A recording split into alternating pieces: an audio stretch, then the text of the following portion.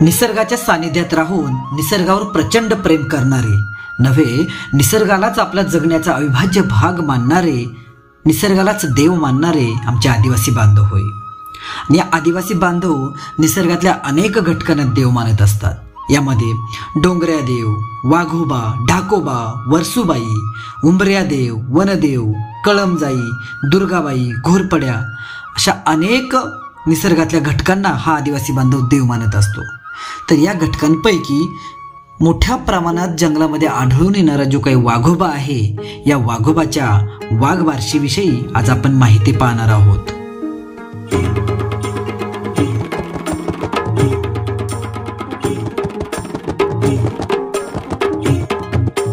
टेकडीच्या पायथ्याला छोटासा गावर जंगलचा राजा हाय तुझं नाव. टेकडीच्या पायथ्याला छोटासा टेकडीच्या पायथ्याला छोटासा गावर जंगलचा राजा हाय तुझं नाव. टेकडीच्या पायथ्याला छोटासा गाव रे जंगलचा राजा हाय तुझं नाव. ए, टेकडीच्या पायथ्याला छोटासा गावर जंगलचा राजा हाय तुझं नाव. टेकडीच्या पायथ्याला छोटासा गाव रे जंगलचा राजा हाय तुझं नाव. महाराष्ट्रामध्ये त्र्यंबकेश्वरपासून तर अगदी भीमाशंकरपर्यंत अगदी गावागावांमध्ये आपल्याला या वाघोबाची अनेक मंदिरं त्याची स्थानकं पाहायला मिळतात. यामध्ये कल्हारचा वाघ्या तळमाचीचा वाघ्या तिरपाडचा वाघ्या टोलारखिंडीचा वाघ्या शेनीतचा वाघ्या वारंगोशीचा वाघ्या एकलहरे मानेरेचा वाघ्या मांजरगावचा वाघ्या अशा अनेक ठिकाणच्या भागामध्ये आपल्याला या वाघोबाची मंदिरं पाहायला मिळतात.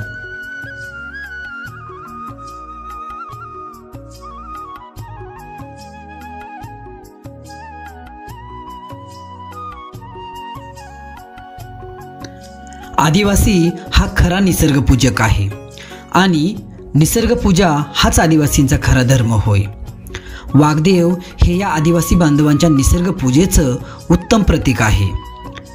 आपण जर पाहिलं तर ज्या शक्तीच्या प्रभावामुळे हिंस्र प्राण्यांपासून या आदिवासी बांधवांचं त्यांच्या कुटुंबाचं त्यांच्या जनावरांचं संरक्षण होतं ती शक्ती वाग्यात आहे असे हे आदिवासी बांधव मानत असतात.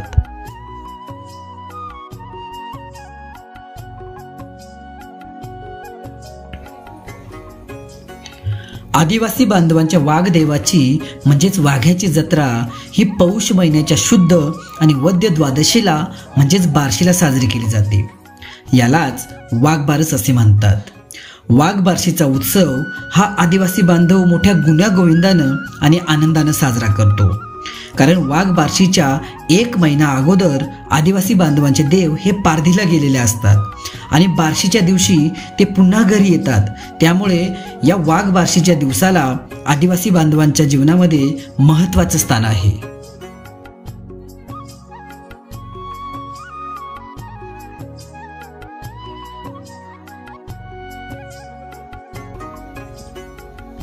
वाघबारशीला अनेक श्रद्धाळू लोकांनी या वाघोबाला नवस केलेले असतात. की हे वाघदेवा वरीसभर आमची आमच्या लेकरांची आमच्या जनावरांची काळजी घे. रानावनात झाडाझुडपात दगडात धोंड्यात आम्हासनी ताराज नग देऊ. वाघबारशीला तुला एक शेळी कालवड ह्या रानावनात सोडू पण आमची काळजी घे. असा नवस फेडताना अनेक भाविक भक्त या ठिकाणी या वाघबारशीच्या निमित्तानं आपल्याला दिसून येतात. वाघबारशीच्या निमित्तानं गावातील लोक शेतातील व इतर सर्व कामं बंद ठेवतात. त्या दिवशी संपूर्ण गावभर मोडा पाळला जातो. या दिवशी नवीन कपडे घालून गुराखी आनंदोत्सव साजरा करतात. दुपारी सर्व गुराखी मंडळी आपापली जनावरं घेऊन गावाच्या शिवेजवळ येतात. तिथे आपल्यासोबत आणलेला गूळ तांदूळ दूध यांची गोड खीर तयार करतात. खीर झाली की भोगाड्याच्या चांद्याच्या पानांमध्ये ती जी काही खीर बनवलेली असते त्या खिरीचा निवद ठेवतात. व त्या गुराख्यांपैकी काही गुराखी हे निरनिराळे रूप घेतात. कुणी वाघ होतं कुणी अस्वल होतं तर कोणी कोल्हा कोणी लांडगा होतं. व राहिलेले गुराखी हे ती जी काही विविध रूपं घेतलेली असतात त्या गुराख्यांना निवत घेऊन जात असताना विचारतात की आमच्या शिवत येशील का? आमच्या शिवत येशील का? आणि हातामध्ये जे काही चिबडू असतं हिरडा असतं किंवा वावरातली जी काही ढेकळं असतात ही ढेकळं मारून ती काही रूपं घेतलेले वाघ कोल्हा लांडगा अस्वल असतं यांना आपले शिवेमधनं हुसकवून लावतात. अशा पद्धतीनं बालगोपालांचा ह्या वाघबारशीच्या निमित्तानं जनावरांकडे गेल्यावर हा अतिशय सुंदर असा वाघबारशीचा कार्यक्रम आपल्याला पाहायला मिळतो. संध्याकाळी गावातील सर्व माणसं ही गावाजवळील वाघोबाच्या मंदिराजवळ जमतात. वाघोबाला नवस म्हणून जे काही बकरू ठरवलेलं असतं ते बकरू वाघोबाच्या चरणी कापतात. वाघोबाचं बकरू कापून झाल्याशिवाय कुणीही आपापली कोंबडं किंवा बकरं कापत नाहीत. हे झाल्यावर संध्याकाळी जे काही पाहुणे मंडळी आलेले असतात किंवा जे काही ग्रामस्थ असतात या सर्वांना एकत्रितपणे सार्वजनिक पद्धतीनं हे जे काही वाघोबाला बकरू कापलेलं असतं हे वाघोबाच्या बकराचं जेवण असतं. सर्वप्रथम हे जे काही गावातले जे काही स्वयंपाक करण्यासाठी जुनी भांडी आहेत ज्या तांब्याच्या मोठमोठ्या डेंगी असतात या डेंगींमध्ये भात शिजवला जातो. काही डेंगींमध्ये जे काही बकरू कापलेलं असतं या बकऱ्याचं मटण शिजवलं जातं.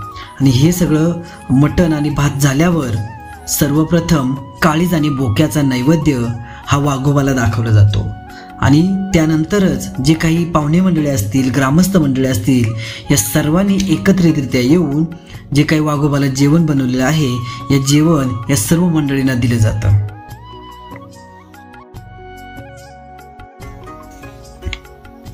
अशा पद्धतीनं संध्याकाळी सर्वांचं जेवण झालं की मंदिराजवळ महिला मंडळी त्यांच्या बोलीभाषेतील पारंपरिक गाणी म्हणतात पुरुष मंडळी वेगवेगळी सोंग करतात.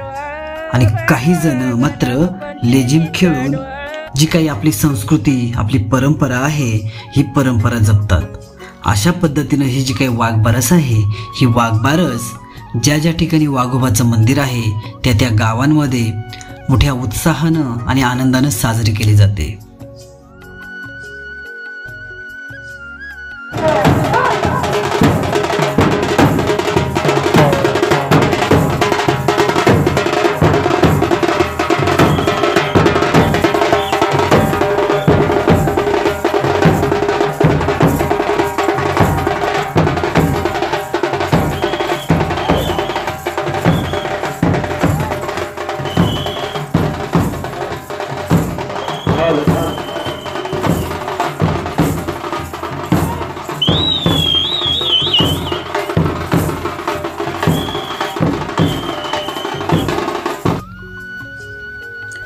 वाघदेवाची मूर्ती ही साधारणतः तीन ते पाच फुटाच्या दगडावर किंवा लाकडी उंटक्यावर कोरलेली आपल्याला आढळून येते.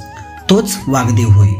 या वाघदेवाच्या मूर्तीवर साधारणतः दोन ते पाच कप्पे आपल्याला कोरलेले दिसतात. त्यात आपल्याला वाघोबा देव व त्याच्या वरच्या बाजूला चंद्र सूर्य तारे हे कोरलेले दिसतात. म्हणजेच या पृथ्वीवर जोपर्यंत चंद्र सूर्य तारे आहेत तोपर्यंत या वाघदेवाचं अस्तित्व टिकून राहावं हा मोलाचा संदेश या वाघदेवाच्या मूर्तींवरनं आपल्याला दिसून येतो.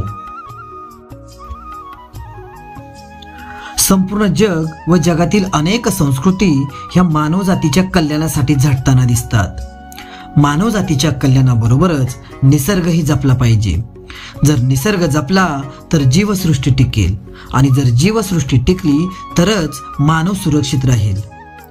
निसर्ग टिकवण्यासाठी पूर्वीपासूनच जल जंगल आणि जमीन यासाठी अहोरात्र झटणारा आदिवासी बांधव हा त्याच्या चालण्या वागण्यातून आणि बोलण्यातूनही निसर्गाचं संवर्धन करताना आपल्याला दिसून येतो.